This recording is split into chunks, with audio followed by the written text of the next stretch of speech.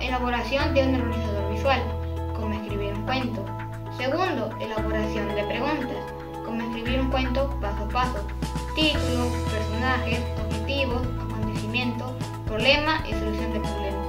Motivación, transmitir a la comunidad el uso responsable del agua.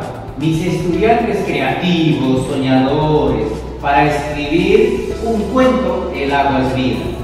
La charla me ayudó a mejorar la textualización de mi cuento. El acompañamiento técnico fue muy interesante para fortalecer el interés del estudiante y de los padres de familia, también para mejorar la textualización del cuento. El agua es un elemento necesario. Con la construcción de la sequía Mayangola dio vida al Valle de Cañete. Entonces surge con la idea de despertar y reforzar la cultura del ahorro del agua, reflexionar sobre la importancia, el agua gota a gota se agota.